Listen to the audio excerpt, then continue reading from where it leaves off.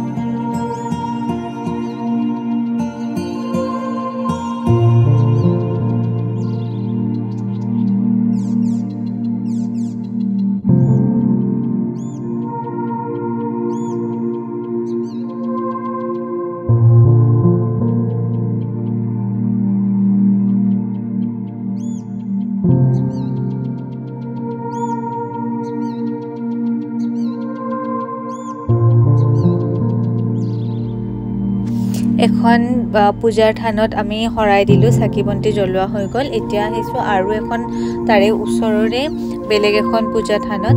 ইয়াত আকৌ আমি শৰাই দিম আৰু ইয়াত আমি মানে যিটো ভোগ হয় দুপৰীয়া যিটো ভোগ দিব সেইটো কাৰণে আমি দিছোঁ আৰু প্ৰসাদ মানে প্ৰসাদৰ নামত। তো আমি আকৌ আহিম এই পূজাখনলৈ দুপৰীয়া আহিম। দুপৰীয়া আহি কেনে মানে প্ৰসাদৰ হিচাপে আৰু ভোগটো গ্ৰহণ কৰিম আৰু। তো এতিয়া এইখনত চাকি বন্তি জ্বলাই লওঁ।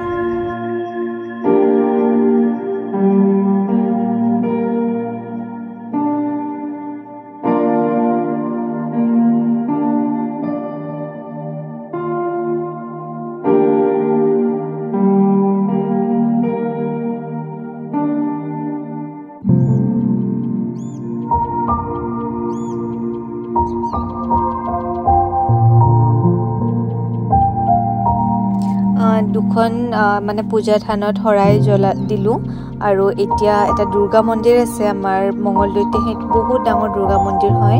আৰু ইয়াত বহুত ডাঙৰকৈ পূজাখন হয় কাৰণ কি এইটো দুৰ্গাৰ মন্দিৰেই হয় যিহেতু।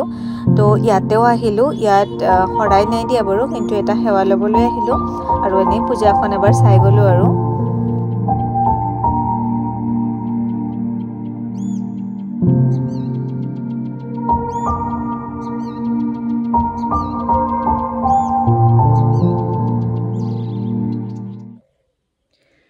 শৰাই চৰাই দি আহি পালোঁ। এতিয়া অকণমান টাইম ঘৰতে থাকিম। ঘৰত অলপ চলপ কাম আছে কৰি কিনে আকৌ ওলাই যাম আৰু অলপ এতিয়া ৰেডি হৈছোঁ অকণমান। পূজাৰ থানকেইখনত যাওঁ।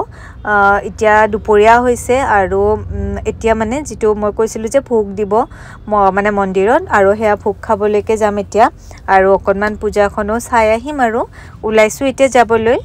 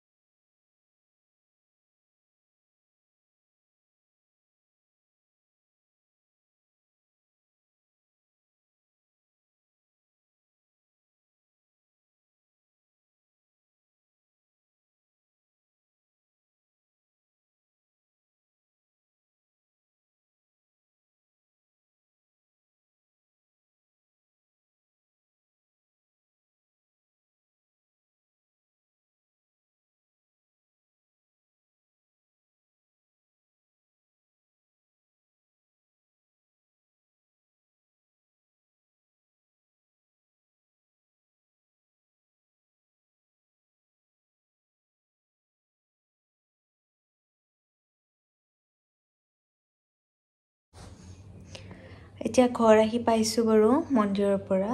তো ঘৰ আহি এতিয়া অকণমান টাইম ৰেষ্ট ল'ম।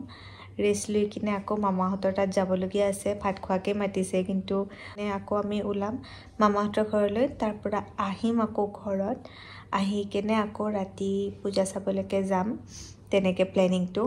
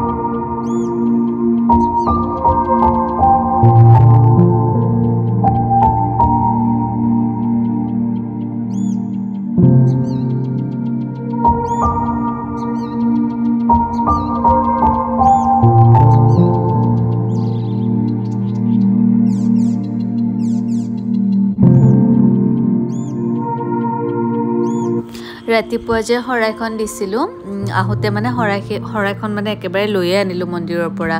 আৰু এতিয়া আমি গাড়ীতে অকণমান মানে পায়স আৰু প্ৰসাদ খাই আহিছোঁ আৰু। মামাহঁতৰ ঘৰৰ পৰাও আহিলোঁ আৰু এতিয়া মানে কাপোৰ সলোৱা নাই তেনেকৈ ভাবিছোঁ অকণমান পূজা চাই আহোঁ আৰু অষ্টমী বুলি তেনেকৈ যাব ওলাইছোঁ আৰু।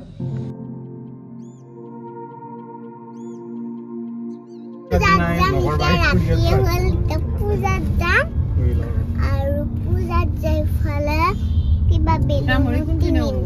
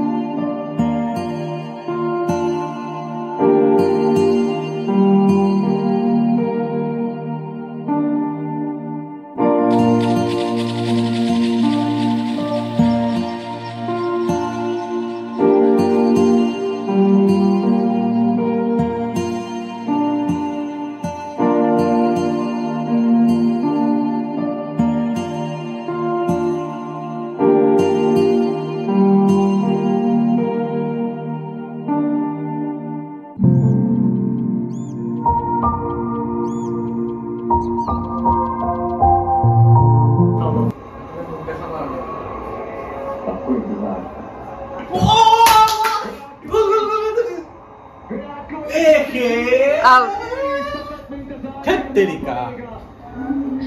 आउट नहीं। विराट कोहली हंड्रेड होगा नफा आज अजीमा दुनिया के लिए। तेंदुलकर के ऊपर চ' গাইজ এইখিনিয়ে আছিলে। এতিয়া ক্ৰিকেট মেটচ হৈ আছে ইণ্ডিয়া আৰু নিউজিলেণ্ডৰ আজি ইণ্ডিয়া জিকিব আৰু জিকিলেই মানে অলৰেডি তো আমি এতিয়া ক্ৰিকেট মেটচ চাম। আজি জল্দি আহিলোঁ ইমান বেছি পূজাও নাই চোৱা জাষ্ট মানে মেটচখনৰ কাৰণে। আশা কৰোঁ ভিডিঅ'টো ভাল লাগিলে আৰু যদি মোৰ ভিডিঅ'বোৰ ভাল পায় তেনেহ'লে প্লিজ মোৰ চেনেলটো ছাবস্ক্ৰাইব কৰি দিব। বাই গাইজ টেক কেয়াৰ